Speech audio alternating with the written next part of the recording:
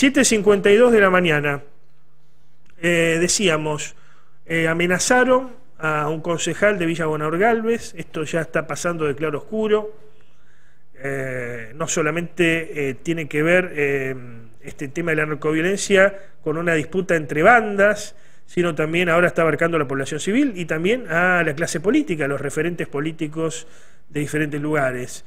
Aquí en Villa Bonador Galvez, el concejal Nicolás Ramírez, del bloque Somos Futuro, fue amenazado a través de su padre en las últimas horas y obviamente está con temor, ¿no? Porque ¿qué, se, puede, qué se puede esperar una situación así? Eh, ¿Cómo estás, Nicolás? Buenos días. Antonio, buenos días, ¿cómo estás? Gracias por atendernos. Eh, entiendo también que, que, es complicado atender cualquier tipo de llamados para vos en esta situación, donde, bueno, no, no sabés si quieren hablar con vos por algo particular sobre tu labor como edil o en realidad eh, quieren intimidarte, ¿no? Una locura. Sí, sí, la verdad, la verdad que sí, pero bueno, tratamos de mantenerlo con la mayor cautela posible, con la mayor tranquilidad posible y, bueno, eh, siguiendo las instrucciones por ahí que, que nos dan la, la fuerza de seguridad.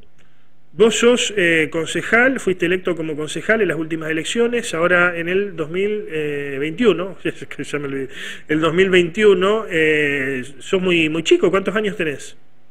Sí, sí, tengo 25 años y fui electo bueno, en las últimas elecciones y hace tres meses que asumí, el pasado 10 de diciembre. Sacando, eh, no recuerdo ahora los números, pero una buena cantidad de votos. Sí, sí, fui la tercera fuerza más votada de la ciudad con más de 8.000 votos. Y con un partido vecinal, ¿no? Sin, sin provenir de una gran estructura. Así es, eh, por fuera de la gran estructura y bueno, por eso, por eso fue la sorpresa de las últimas elecciones. Ahora, ¿cómo se llega a una situación de, amenazas como, como esta? ¿no? Eh, comentame cómo, cómo llegamos a esto. Y mirá, eh, por la situación que estamos viviendo, no, no le escapa a nadie. La, la última semana hubo gran número de amenazas en Villa de Galvez. Eh, no fui la excepción. Eh, tengo la, suerte de poder contarlo. Mucha mucha gente no lo puede contar, no puede tener visibilidad a su caso. Y eso es lo que más preocupa. Y bueno, y esto marca marca que ya, ya llegamos a un límite del que no podemos seguir avanzando. Todas las fuerzas políticas se deben poner a disposición de, de la sociedad para, para buscar soluciones, para encontrar soluciones y que ya no podemos más estar en esa inacción en la que nos manteníamos hasta ahora. No porque me haya pasado a mí, sino por la gran escalada que hubo los últimos días. Eh, entonces, como decía yo, si yo tengo que ser la herramienta para que esto se mueva un poco y empiecen a venir las soluciones a ella no de la que tienen que de las que tienen que venir y de la gente que nos tiene que cuidar, bienvenido sea. Ahora, eh no quiero meterme en tu economía personal, pero sos un potentado, Rockefeller, no sé, porque te piden dinero. Yo la verdad cuando escuchaba esto, leía esto, digo, eh, esto se lo pidieron a tu papá. ¿Cómo fue el, cómo fue la, eh, particularmente el llamado? Sí, nada, una familia clase media y clase media baja, y yo, una familia que, vivió siempre del trabajo, vivimos siempre del remis. Eh, mi papá tiene, tiene una agencia de remis y bueno, hasta lo comentaba yo ayer eh, cuando me llamaban los medios, el, eh, hasta yo me subí en un auto para, para poder trabajar desde mí.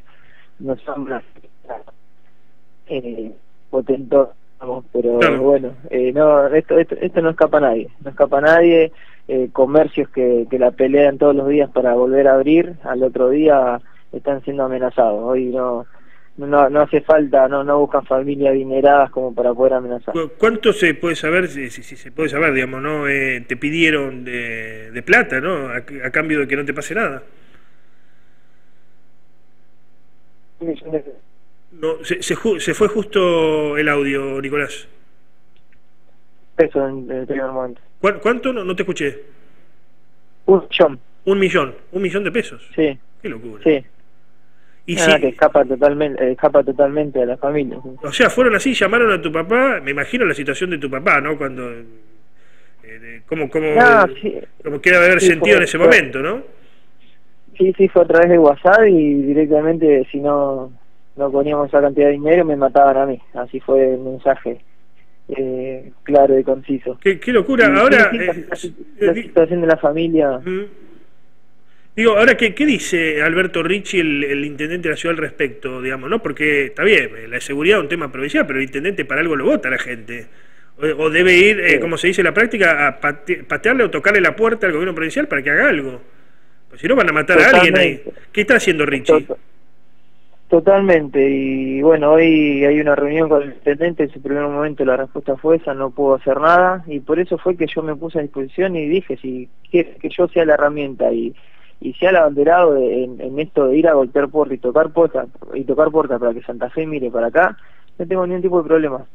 Eh, no me voy a escudar atrás de, no, yo desde el Consejo no puedo hacer nada, porque de verdad no puedo hacer nada eh, dentro de los papeles institucionales que o las herramientas institucionales que tengo pero pero sí aportar un poco de rebeldía y ir al frente de, esta lucha que, la tienen que dar otro eso seguro porque institucionalmente estoy atado de pie y mano del consejo pero personalmente no tengo problema. ¿Qué, te dijeron si es que pudiste establecer contacto gente del Ministerio de Seguridad de la provincia el ANIA qué dice el ANIA qué dice al respecto eh, no me pude comunicar eh, personalmente con el con el ministro, pero bueno, sí con, con gente allegada al ministerio y bueno, una vez que tomó estado público eh, lo solucionaron rápidamente, eh, a la noche me, me pudieron poner custodia en mi casa, que a uno la familia, después yo, yo sigo haciendo mi vida lo más normal posible, sigo visitando los barrios, eh, de hecho ayer estuve también en un comedor, pero bueno,